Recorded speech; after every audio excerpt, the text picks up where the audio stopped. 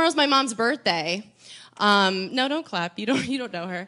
Uh, but I'm, I'm bringing her to a soccer game because I wanted to show her what boundaries looked like. You know, like look.